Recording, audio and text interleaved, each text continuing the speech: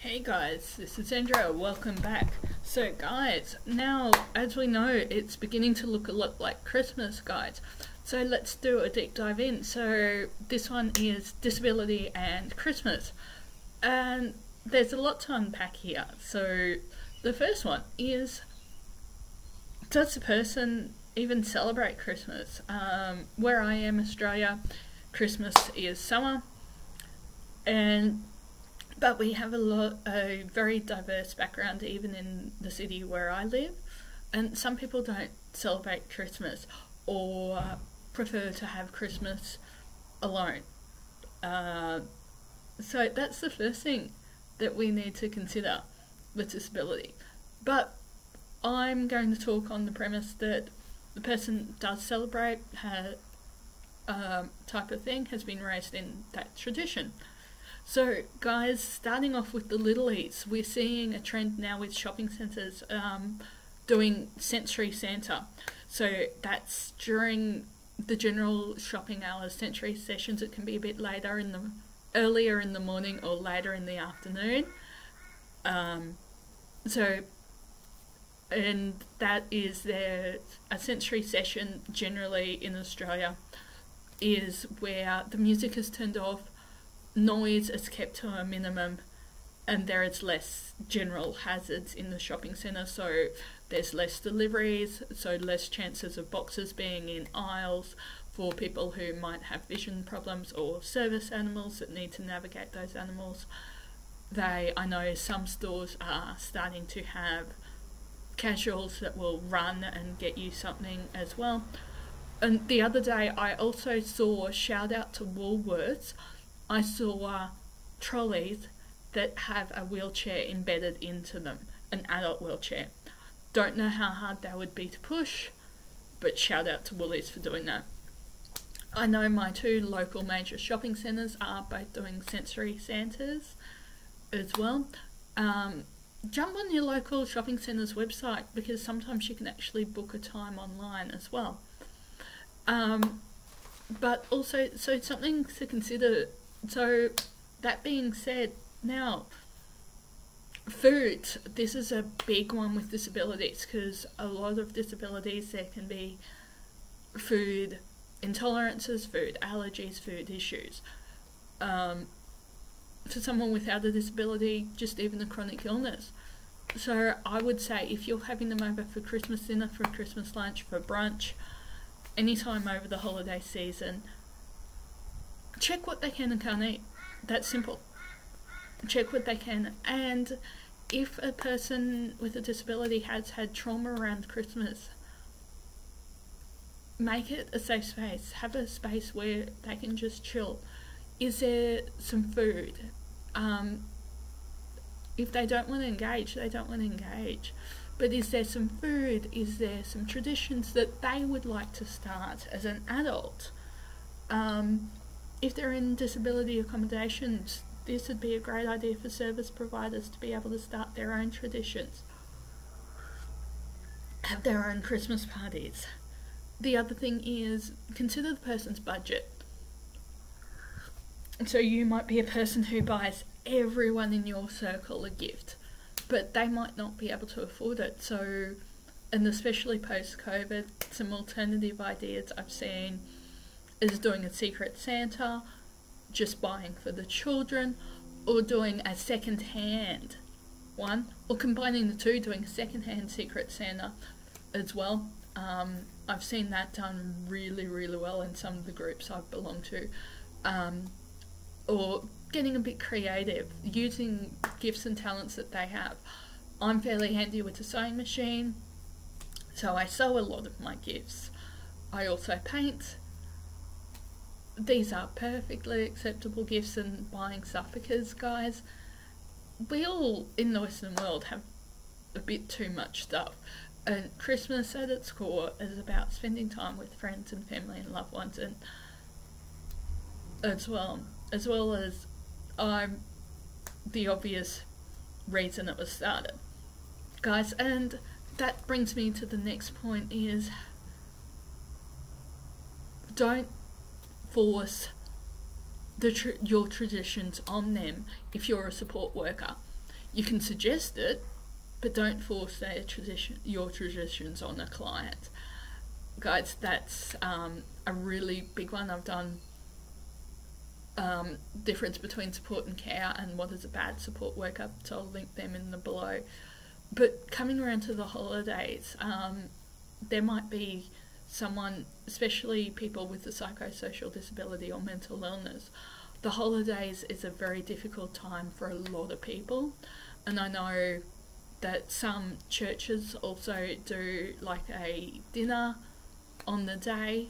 Um, sometimes you've got to book in because of COVID, sometimes it's take all comers. So I would check. And guys, that's if you have the time and bandwidth, going and volunteering at those things are you get so much more out of them than the people who are coming um, as well. It's just the joyous time as well to connect with the community um, as well. And another thing is um, that's very unique to Toowoomba is something that we do as raising money for the local suicide hotline is um, because it is so hot we light up one of the parks with Christmas lights and you can walk through. Um, so it's called the Christmas Wonderland, and they raise money for a local suicide prevention hotline as well as local charities that support families during tough times as well. Um, it is the whole community gets involved. All of the local youth groups take tickets, take at the door, take donations. Um, I know Home Ice Cream for a donation has ice cream, Lions gets involved, the local girl guides, the scout groups, the local dance groups, and put on performances, choirs put on performances as well. Um, I do know some of the licensed Disney princesses you can take photos with as well for the kids. So all things that you can do that are low cost, but um, they also are starting to bring in a sensory session as well because it does get quite crowded and quite overwhelming as well. So guys, just a few things to remember is food allergies and especially um, and um, lost what I was saying guys. Food allergies can be a huge one as well around this time of year so it doesn't take much to pick up the phone and say hey what are your allergies or whatever as well. And guys, um, my family does a bring a plate, and it's a really good way to cut down on the costs for Christmas. Is bring everyone bringing a plate um, as well. So I know that's becoming more and more common post COVID as well. And guys, this just brings me to my next point. There's something in my garden where I feel that's beautiful fragrance, but it's making my nose itchy, guys. That is accessibility. So if you have someone in your life, like my dad is older, he uses a wheelie walker. So if you have someone with a physical disability who uses a mobility aid, consider the venue that you're using. Is it accessible? Um, we're having it at my sister's place. They have ramps into their garage where we'll be having Christmas dinner um, as well. So that's a big thing is that, and but we always put Dad's Wheelie Walker where it isn't in the way, but it is accessible. Um, and that is something that you need to consider if there's someone in a wheelchair don't assume that they can have it at their place especially if they're in NDIA accommodation as well. But something to consider is toilets. Are the toilets accessible? Will they have a support worker on them on the day? And just having a think about the support worker. Do they have family? So they'll be missing time with their family on the day. Do um, you get that support worker a present is something that I'd encourage you to encourage to talk with the service providers. What is their policy around gifts is a really good one to know coming up to holidays as well. Because ethically, um, I know a general rule I've had when I've been working is anything over $10 has to be reported to a boss as well. Um, then, so toilets accessible, can the person move in and around your house as well? In their aid, they might be an ambulatory user, so that's another thing as well. And just in generally including those who might be in disability accommodation who might not have friends or family see what they're doing another one at the table doesn't really hurt at christmas guys um, i hope that gives you some ideas on how you can support people with a disability and just a final note that i've forgotten that is remember some people with disabilities that had late diagnoses, especially psychosocial disabilities.